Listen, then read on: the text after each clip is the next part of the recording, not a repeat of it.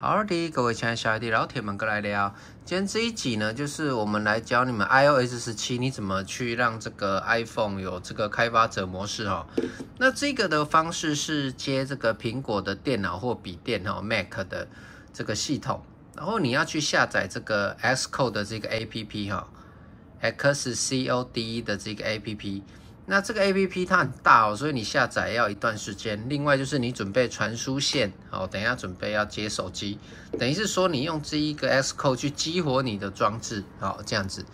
好，那我已经下载完了哈。那下载完了以后呢，你就是去看到 S Code 的这个，那我去点它一个视窗的下方，那这个板子哈，那它这会 Continue 就是。他这边会叫你去什么继续什么的，我就不管了，我们就把可以勾的都打勾了哈。嗯，都要去把它打开，那我们就把它下载了，不管了哈。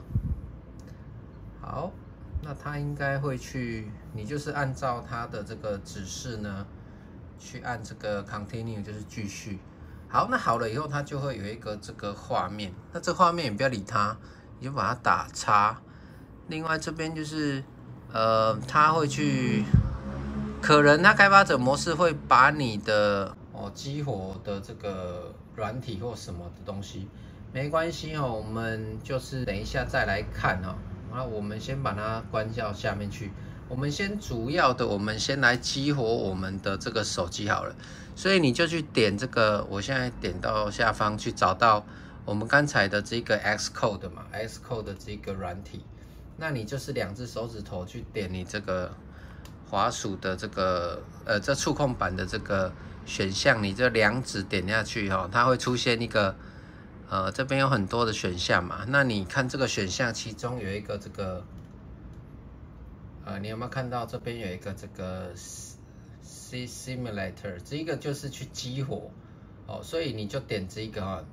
我再讲一遍哦，这边有一个是打开开发者模式的工具，这边有一个激活的这一个选项。那激活这个选项要选之前，我们就是你先把你的手机呢，就是先接上去传输线好了。好，先接上去传输线，接上去传输线，它可能会要我们去信任跟去接收这个电脑。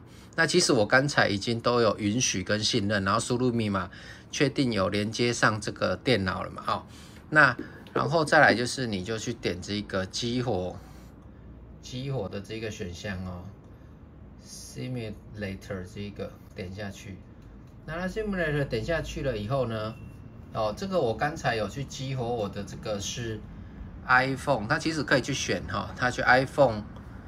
这个是十四 Pro Max，所以它在激活了。它现在激活的手手机的设定里面哈，去看你的这个隐私，在你设定里面这有一个隐私跟安全性，你去点它哦，你会发现它重新开机后，它多了一个这个开发者模式哈。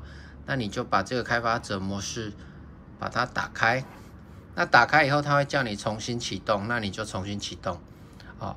那你有什么的装置，你就是同样的去这样去类推，好，所以这一个就是激激活你的开发者模式的一个方式。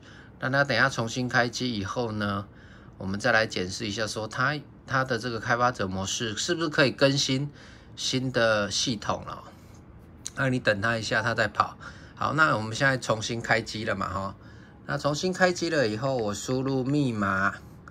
然后我们一样，好，他问你说你要开启开发者模式吗？那我就是开启，好，一样要输入密码。好，那现在开发者模式已经开启了，那我们去设定的隐私跟设定，我们再去看一下哦。开发者模式已经是有打开了。好，那我们再去这个我们的一般，然后你看一下这个软体更新。你就会发现，好，它多了一个 beta 版更新的项目。那如果你是想要去更新十七的话，你就去点这个 beta。那我等一下应该会去更新哈。好，那你就会多了一个十七的 beta 的版本。这个是开发者模式去测试的。那你再下载并安装。所以今天这个教学就是。如果你想要去提早去体去体验 iOS 十七的话，你就用这个方式，就是去下载这个 Xcode，然后它就会帮你激活哦。我们这个 Xcode 的这个软体啊，记得它的这个 Open 这个选项的部分有一个这个 Simulator，这一个就是激活的这一个选项，然后你就去激活你要的设备。刚才整个就是这个完整的教学就是这样。好，那今天这一集就到这边了，就希望这个激活的方式能教你们如何赶快下载到 iOS 十七。好。